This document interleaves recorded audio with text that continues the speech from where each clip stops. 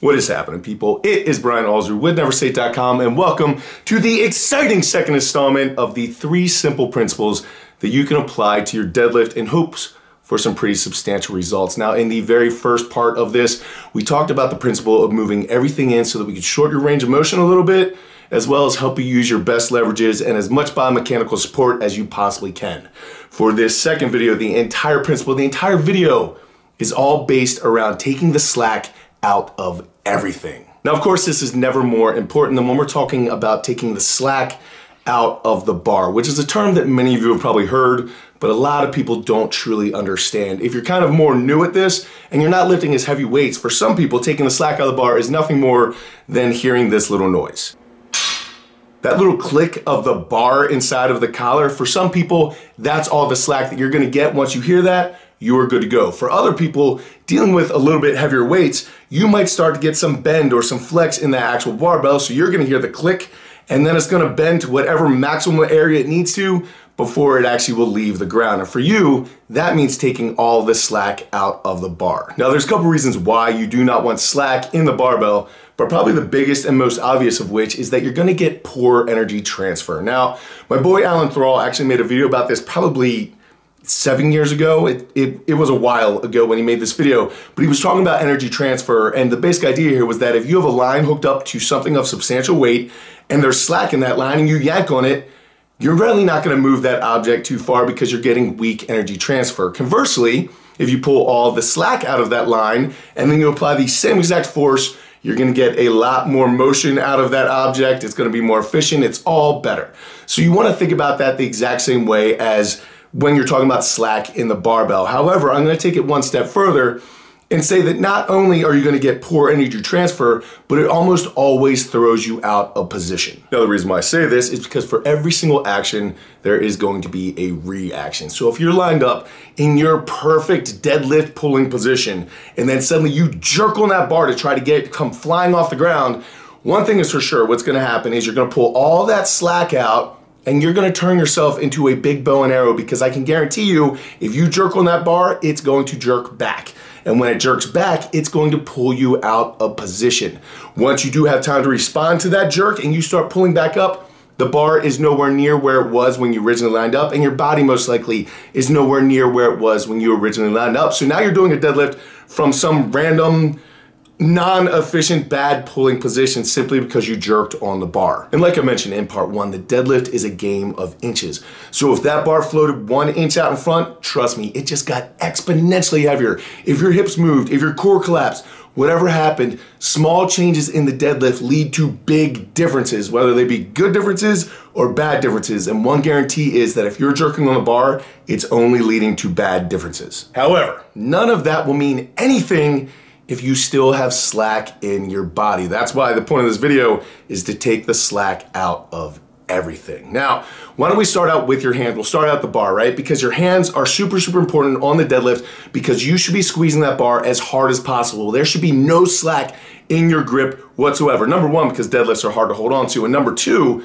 because your body works synergistically, which means if you're squeezing your hands as tightly as you can, you will get more power output. It's also why if you can't open a jar, squeeze the jar and you'll be shocked at how much more power you can get in this little twisty, twisty hand. Now, once all the slack is out of your hands, it's time to move up to your arms where there should be zero bend, especially if you guys are using a mixed grip. That underhand, that supinated hand, you are putting it at a risk for a bicep injury massively if you have any bend in it whatsoever. Because I know it comes as a shocker, but you can't curl what you deadlift. But whether you are supinating, using hook grip, using straps, whatever you're doing, keeping your arms as straight as possible is going to give you the best energy transfer as well as the shortest range of motion possible. So that is very, very important. They should be nothing more than meat hooks. Now after the arms, of course, we need to talk about the lats. Now, I did address this in the last video. However, guys, if there is any room at all in your armpit and your lats are not locked in, what's gonna happen when you start to apply force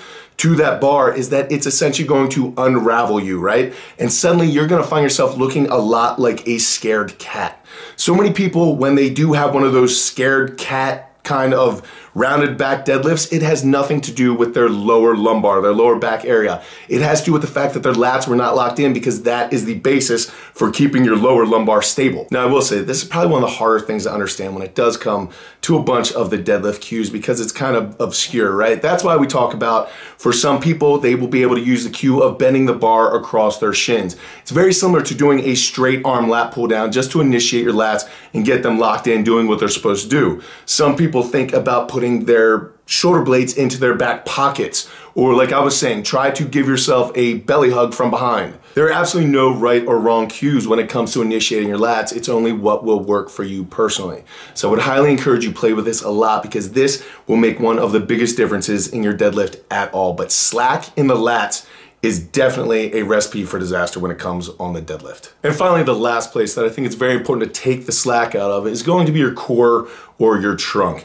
And by that, I mean breathing and bracing correctly. Now, if you watch the channel for any amount of time, you will know that I am a massive advocate of breathing and bracing. In fact, I have an entire playlist on it where I go through workshops, walk you guys exactly through it to teach you how to do it correctly. Because in my personal opinion, there is nothing more important than learning how to breathe and brace correctly if you're going to lift heavy weights. But the basic idea here, guys, is that your trunk is a cylinder. Think of it as like a Coke can. Now, if you have an empty Coke can with top open, it's very easy to dent and collapse, right? Like your body will fold like a tin can. Now, if you fill that thing up with air, because that's what we fill our tube up with, as much air as possible, and then you seal it off and you brace it down, then it is much harder to bend and manipulate, which is exactly what you want to do to keep your spine safe, to keep your back from rounding, to keep anything from changing in your back position on the deadlift. That all has to do with the amount of air that you have in your belly.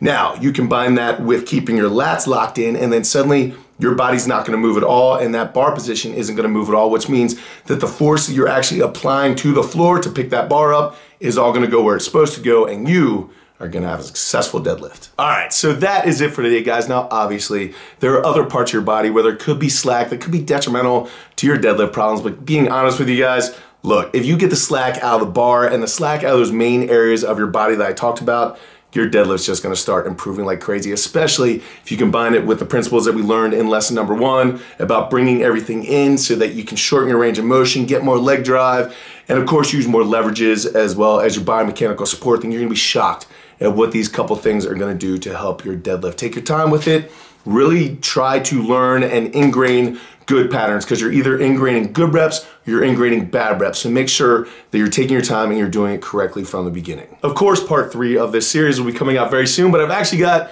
a couple other different videos that I'm really pumped about releasing in the near future. And we also have new t-shirts coming out for the first time in over a year. It's been a very, very long time since we've done anything with t-shirts. So that's about ready to happen. I'm very, very pumped about that.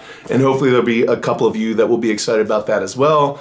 Other than that, guys, as always, if you guys are looking for a program, whether it be a $25 cookie cutter one or a personalized one, just email me at neversate at gmail.com and we will take care of that. That is exactly how this channel is possible, guys. It's through that type of support. So I do thank each and every single one of you because it means so much more than you realize. I get to live the life of my dreams and it's because of you guys. So I couldn't be more thankful. I will catch you guys later in the week. I hope this was helpful. Until I do, go out, do something amazing in. Keep working hard, people. Be nice to each other. We need a lot more niceness. We need more nice people in the world. I'll see you then.